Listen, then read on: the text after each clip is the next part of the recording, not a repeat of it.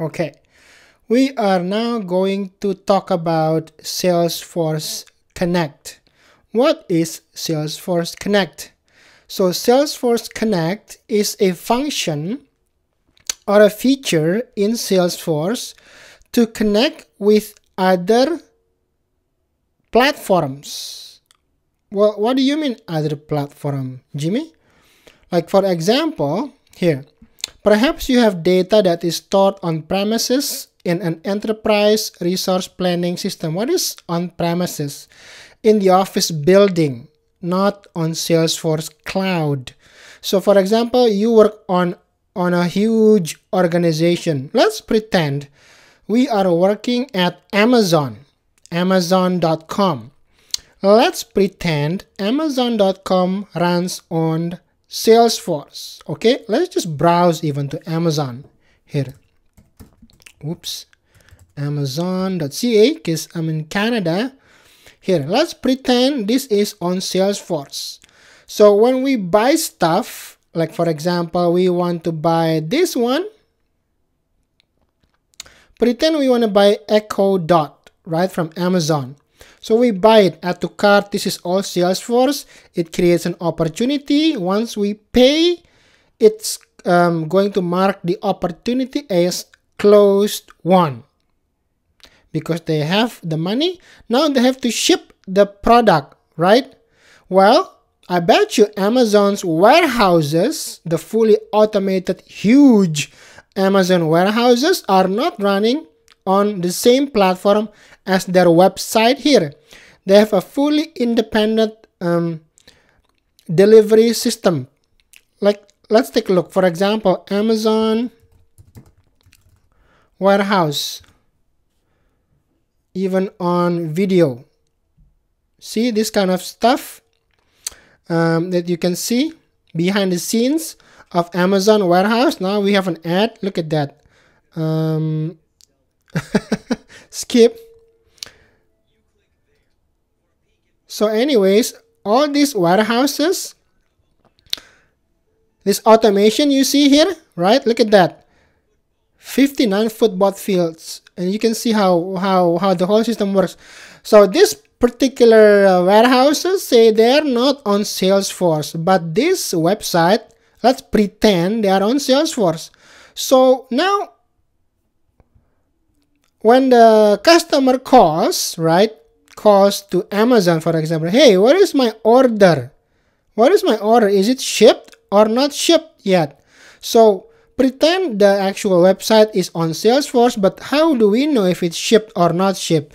It's not already on the shipping warehouse system, which is running on another platform. Let's say it's called Amazon warehouse platform, right?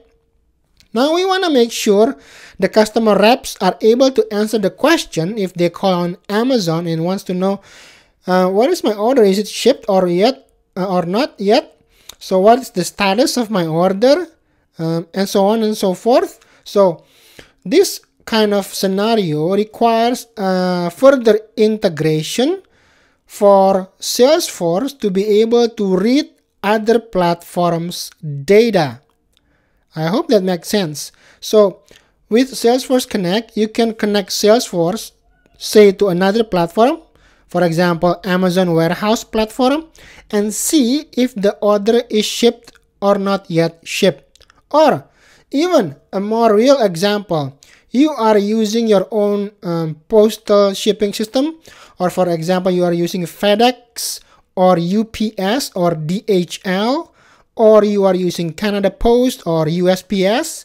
Now you ship something, but you don't know where it is. You want to track the package, right? Where is it, right? Is it shipped? Is it on route?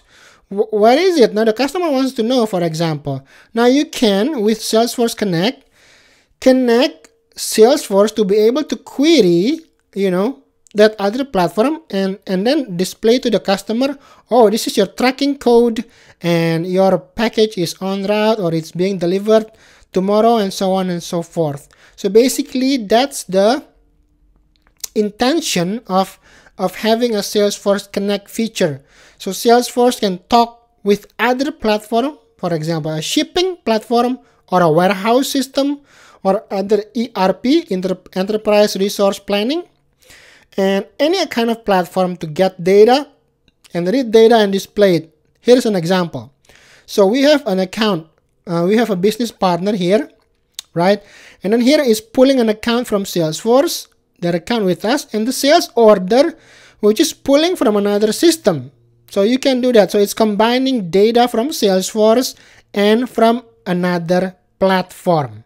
So now the customer reps or the sales rep can see all information in one place without having to log into another platform and then trying to find the, the order or the yeah you know what i mean right? So it's all in one place. They can see it with their eyeball and then say to the customer oh it's um, shipped or oh, it's, it's still being developed or whatever that is okay? So how can you connect? You can use OData to um, adapter or cross org adapter and custom adapter created for Apex. And one very important note, Salesforce Connect is not free and it's not cheap. Now ask me how do I know it? because we want to apply cross-platform connectivity but it is not cheap. So to ever consider using this um, feature, you would have to be to get an approval from your executive management spending tons of money to have this um, connectivity opened up for your org. Otherwise you can't use it. You can play around with it on trailhead playground but if you have an enterprise license and you want salesforce connect it's not cheap. Though that's a side note okay? It's pretty expensive. Okay now quiz which of these statements is true for Salesforce Connect? No external data is important, right? Because we can read the data in real time from the other platform. External data is read in real time. There we go. It can be used um, with any data source that supports OData 2.0. This is how we connect to the other platform, right? So all of the above. Which of these is not an appropriate use case for Salesforce Connect? You need to set up workflow and triggers because it is not supported. Salesforce Connect or external objects does not support here workflows or triggers yet.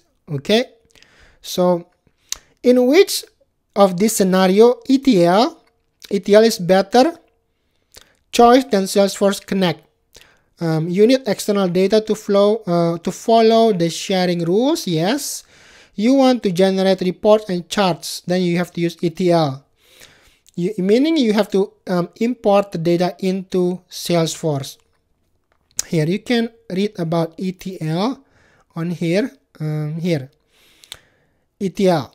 Okay. Um, uh, ETL is transform load. Export transform load. You export the data from the other plas platform, you transform it, play around with the data, make it suitable for importing into Salesforce, and then you load it up into Salesforce.